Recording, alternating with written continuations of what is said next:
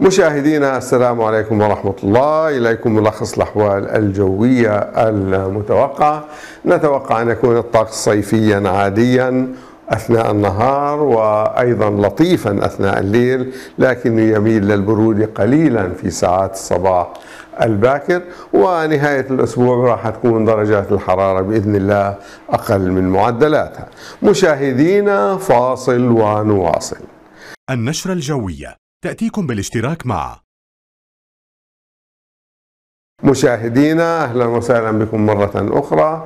الأحوال الجوية المتوقعة هذه الليلة. هذه الليلة أجواء آه، لطيفة.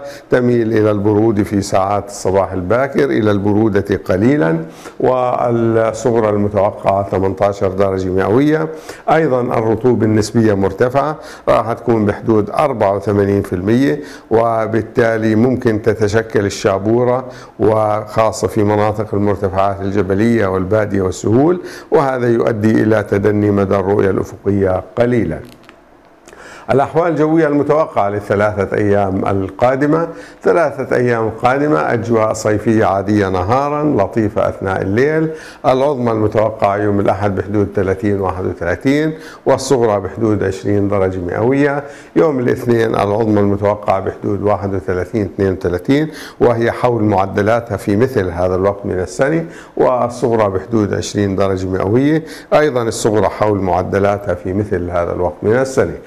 الثلاثاء أيضا صيفي عادي الحرارة العظمى ما بين 30 إلى 31 والصغرى بحدود 19 درجة مئوية.